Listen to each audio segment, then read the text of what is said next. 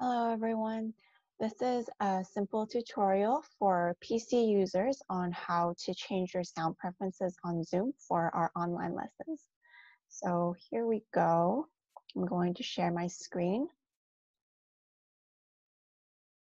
So underneath on your left side, left bottom side, you should see this uh, mic button, this the one that says mute. It should be on the bottom of your screen though.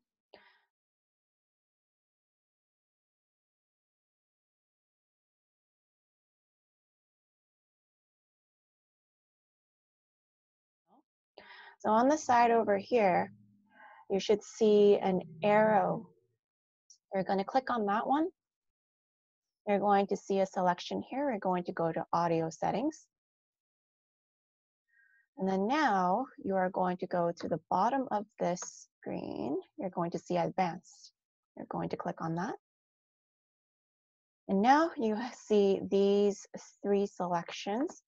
So for uh, these first two, the one with suppress persistent background noise, we're going to change this one. We're going to disable it. Same thing over here.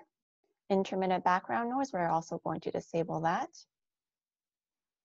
So we're doing this one so uh, the Zoom doesn't think that your instrument is a background noise and try to suppress it. It will make your instrument sound clearer in the lessons. Uh, for echo cancellations, we're going to leave that one out. And that's it.